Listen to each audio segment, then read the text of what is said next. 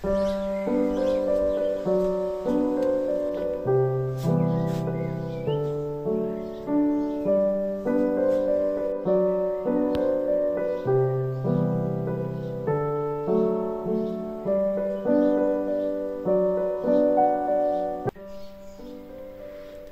in the studio today, just coming in to work on a couple of quick sketches that I few moments when I was in Donaghadee the other day, so I just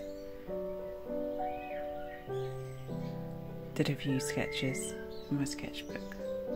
Um, I used the Derwent Inktense pencils, which I just sort of scribbled the outline of the rough colours that I was seeing, and now I'm coming back to add in the water, which brings out and sort of blends all the colours.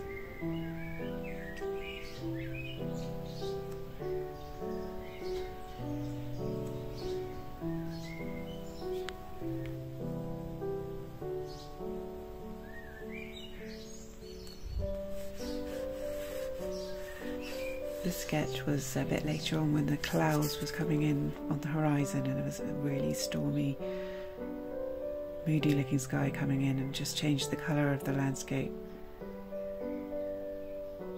So I just scribbled down the outlines with the colours. There was also these dark rocks in the foreground.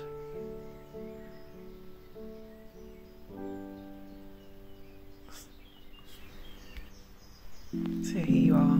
Here's uh, two quick uh, sketches which were done on the go and finished in the studio.